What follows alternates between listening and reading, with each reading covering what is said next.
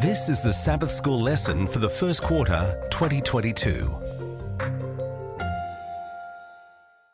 Welcome to Lesson 9, Jesus the Perfect Sacrifice, ready for teaching on February 26. It's from the series In These Last Days, The Message of Hebrews. The author is Dr. Felix Cortez, who is Associate Professor of New Testament Literature in the Seventh day Adventist Theological Seminary at Andrews University. And I'm your reader for today, Dr. Percy Harrold.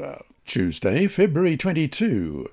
Jesus' Perfect Sacrifice. Read Hebrews chapter 2 verse 27 and Hebrews 10:10. 10. How is Jesus' sacrifice described in these passages? Hebrews 7:27 who does not need daily, as those high priests, to offer up sacrifices, first for his own sins and then for the people's, for this he did once for all when he offered up himself. And chapter 10, verse 10 By that will we have been sacrificed through the offering of the body of Jesus Christ once for all. The Levitical priests, who were many in numbers because they were prevented by death from continuing in office, we read in Hebrews 7:23, are contrasted with Jesus who lives forever and has an eternal priesthood, as we read in Hebrews 7 verses 24 and 25. But he, because he continues forever, has an unchangeable priesthood. Therefore he is also able to save to the uttermost those who come to God through him, since he always lives to make intercession for them. Levitical priests daily in Hebrews 7:27 and every year in Hebrews 9:25 offered gifts and sacrifices that cannot perfect the conscience of the worshipper. We read in Hebrews 9, verse 9, it was symbolic for the present time in which both gifts and sacrifices are offered, which cannot make him who performed the service perfect in regard to the conscience. And Hebrews chapter 10, verses 1 to 4. For the law, having a shadow of the good things to come, and not the very image of the things, can never with these same sacrifices which they offer continually year by year make those who approach perfect. For then would they not have ceased to be offered. For the worshippers, once purified, would have had no more consciousness of sins. But in those sacrifices there is a reminder of sins every year. For it is not possible that the blood of bulls and goats could take away sins. Jesus, however, offered himself once for all, a single sacrifice, as we read before in Hebrews chapter 10, verse 10. And we also read about it in Hebrews 10, verses 12 to 14. But this man, after he had offered one sacrifice for sins for ever, sat down at the right hand of God, from that time waiting till his enemies are made his footstool. For by one offering he has perfected for ever those who are being sanctified. That uh, cleanses our consciences, as you read in Hebrews 9:14, how much more shall the blood of Christ, who through the eternal Spirit offered himself without spot to God, cleanse your conscience from dead works to serve the living God? And Hebrews 10 verses 1 to 10. For the law, having a shadow of good things to come, and not the very image of the things, can never with these same sacrifices which they offer continually year by year make those those who approach perfect, for then would they not have ceased to be offered.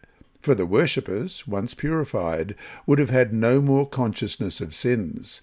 But in those sacrifices there is a reminder of sins every year. For it is not possible that the blood of bulls and goats could take away sins. Therefore, when he came into the world, he said, Sacrifice and offering you did not desire, but a body you have prepared for me. In burnt offerings and sacrifices for sin you had no pleasure. Then I said, Behold, I have come. In the volume of the book it is written of me, to do your will, O God. Previously saying, Sacrifice and offering, burnt offerings and offerings for sins you did not desire, nor had pleasure in them, which are offered according to the law, then he said, Behold, I have come to do your will, O God. He takes away the first, that he may establish the second. By that will we have been sanctified through the offering of the body of Jesus Christ, once for all. And he puts away sin, as we read in Hebrews 9:26. He then would have had to suffer often since the foundation of the world, but now, once at the end of the ages, he has appeared to put away sin by the sacrifice of himself. Jesus' sacrifice is superior to the sacrifice of animals because Jesus was the Son of God, as we read in Hebrews 7 26 to 28. For such a high priest was fitting for us, who is holy, harmless, undefiled, separate from sinners, and has become higher than the heavens, who does not need daily, as those high priests, to offer up sacrifices, first for his own sins and then for the people's, for this he did once for all when he offered up himself. For the law appoints as high priests men who have weakness, but the word of the oath which came after the law appoints the Son who has been perfected for ever who perfectly fulfilled God's will, as we read in Hebrews 10 5 to 10.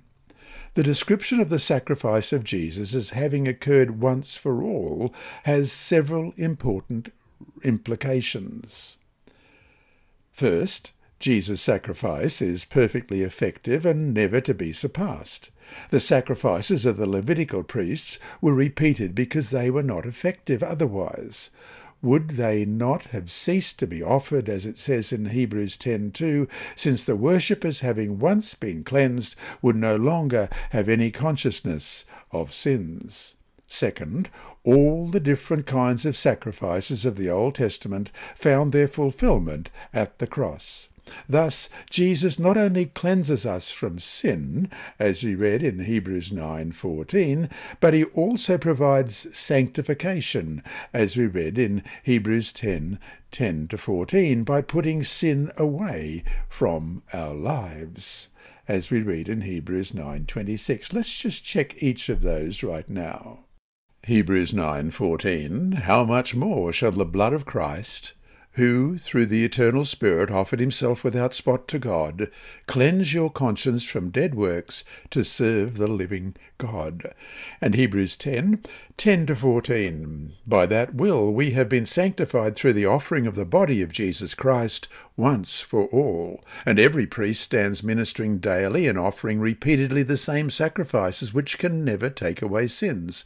But this man, after he had offered one sacrifice for sins forever, sat down at the right hand of God. From that time, waiting till his enemies are made his footstool. For by one offering he has perfected forever those who are being sanctified. And Hebrews 9:26 he then would have had to suffer often since the foundation of the world.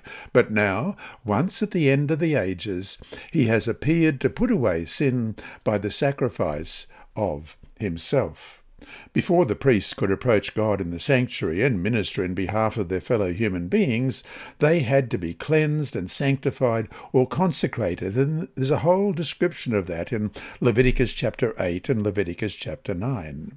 Jesus' sacrifice cleanses us and consecrates us, as we've just read in Hebrews 10 10 to 14, so that we may approach God with confidence as we read in Hebrews 10 19 to 23. Therefore, brethren, having boldness to enter the holiest by the blood of Jesus, by a new and living way which he consecrated for us through the veil, that is, his flesh, and having a high priest over the house of God, let us draw near with a true heart in full assurance of faith, having our hearts sprinkled from an evil conscience, and our bodies washed with pure water. Let us hold fast the confession of our hope without wavering, for he who promised is faithful. And serve him as a royal priesthood, as we've read in chapter 9 verse 14, but also in 1 Peter chapter 2 verse 9. But you are a chosen generation, a royal priesthood, a holy nation, his own special people, that you may proclaim the praises of him who called you out of darkness into his marvelous light. Finally, Jesus' sacrifice also provides nourishment for our spiritual life. It provides an example that we need to observe and follow. Thus, Hebrews invites us to fix our eyes upon Jesus, especially the events of the cross, and follow his lead, as we read in Hebrews 12, verses 1 to 4, and chapter 13, verses 12 and 13. So, Hebrews 12, beginning at verse 1 Therefore, we also, since we are surrounded by so great a cloud of witnesses, let us lay aside every weight and the sin which so easily ensnares us, and let us run with endurance the race that is set before us, looking unto Jesus, the author and finisher of our faith, who, for the joy that was set before him, endured the cross, despising the shame, and is sat down at the right hand of the throne of God. For consider him who endured such hostility from sinners against himself, lest you become weary and discouraged in your souls. You have not yet resisted to bloodshed, striving against sin. And chapter 13, beginning at verse 12, Therefore Jesus also, that he might sanctify the people with his own blood, suffered outside the gate. Therefore let us go forth to him outside the camp, bearing his reproach. And so to finish today, the cross is the basis for all the benefits that God bestows upon us. It provides purification from sin, sanctification to serve, and nourishment to grow. How can we better experience what we have been given in Jesus? This lesson was read by Dr. Percy Harrold for Christian Services for the Blind. Sponsored by the Sabbath School Department and distributed through Hope Channel Australia, this podcast is also redistributed by Hope Channel Germany, Christian Record Services for the Blind, and It Is Written. It is also available on SoundCloud and through multiple podcast distributors, including Apple iTunes. Remember, God is always faithful.